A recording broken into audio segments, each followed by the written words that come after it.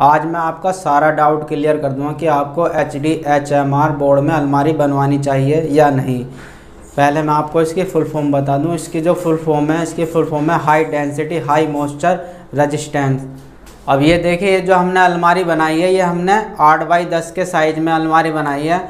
और इसकी जो आप गहराई बनाएँगे, गहराई इसकी आपको पौने चौबीस के साइज़ में लेके चलनी है। क्योंकि अगर आप इससे कम करेंगे तो वेस्टेज ही जानी है। और मैं आपको ये बता दूँ, इसमें डीमक, कीड़ा सीलन की जल्दी से कोई शिकायत नहीं आती। नॉर्मल प्लाई बोर्ड के मुकाबले उससे दुगने चलता है। मान लीजिए अगर वो 25 साल की उसकी वारंटी आती है चलने की तो ये करीब उससे ज़्यादा ही चलेगा। और अब आपको मैं यही बता दूँ कि आपको कौन सा बोर्ड कहाँ पर लगाना है। देखिए, सबसे पहले मैं आपको बैक साइड में बता दूँ। बैक साइड में जो आप बोर्ड लगाएँगे, वो आप 12 एम mm यानी कि आधा इंची का लगाएँगे। इसके लिए आप ये जैसे टू साइड लेमिनेट है इसके लिए आप या तो टू साइड यूज़ कर सकते हैं, लेकिन वन साइड आपको लेना ही लेना, जो आप अंदर की साइड लगाएँगे। इसके बाद में आपको पार्टीशन और सेल्फ के लिए ज़रूरत पड़ती है तो यहाँ पर आप 18 एम mm यानी कि पौन इंची का बोर्ड यूज़ करेंगे। यहाँ पर आपको double side laminate board use करना है। उसके बाद में आपको दरवाज़ों की ज़रूरत पड़ती है, यानी कि डोर की। वहाँ पर आपको विदाउट लेमिनेट का बोर्ड यूज़ करना, जैसे कि देखिए ये है, ये बिल्कुल कोरा पीस है, ना तो आपको इधर लेमिनेट है, ना इधर है। ये कोरा इसलिए यूज़ करना है क्योंकि हमको इस पर जो माइका लगानी है, वो दोनों साइड एक साथ लगा कर चलनी है। अगर हम एक साइड लेमिनेट वाला ले लेते हैं और दूसरी साइड पर हम माइका लगाते हैं तो इसमें थोड़ा माइका के लगाने की वजह से थोड़ा मॉइस्चर बनता है तो इसकी बैंड होने की आशंका रहती है। तो इसलिए हमेशा फ्रंट वाले डोर पर माइका दोनों पर साथ लगनी चाहिए, इससे दरवाज़ा बैंड नहीं होता।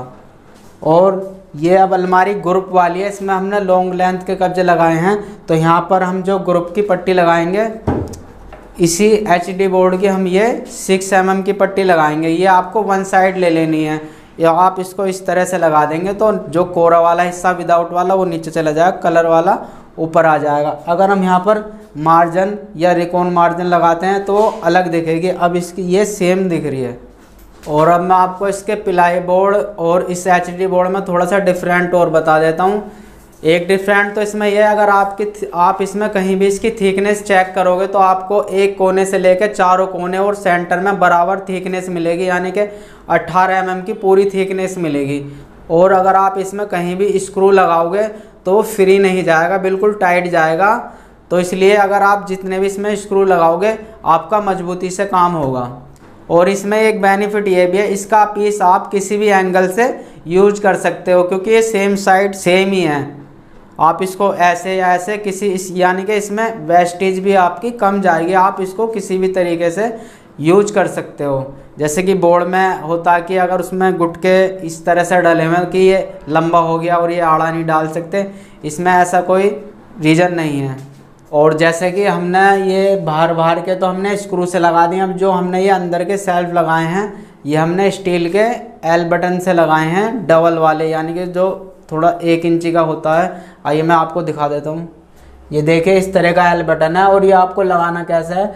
जो इसमें आपको दो स्क्रू लगाने हैं, आपको ये इस साइड से लगाने और वन स्क्रू वाला आपको ऊपर लगाना क्योंकि ऊपर का तो ये अगर आप स्क्रू नहीं भी लगाओगे लगाओगे तो भी काम चल जाएगा। तो एक स्क्रू इसलिए कि बस ये लग जाए और ये हिले ना। अगर आपके मन में कोई कन्फ्यूज़न है या मैं कुछ बताना भूल गया हूँ तो आप मुझसे नीचे कमेंट करके पूछ सकते हैं। आपको रिप्लाई तुरंत मिलेगा। और चैनल पर अगर नए हैं तो चैनल को सब्सक्राइब करें और नोटिफिकेशन बेल पर जाकर आल पर क्लिक करें, जिससे मेरे आने वाली वीडियो की नोटिफिकेशन आपको मिलता रहे।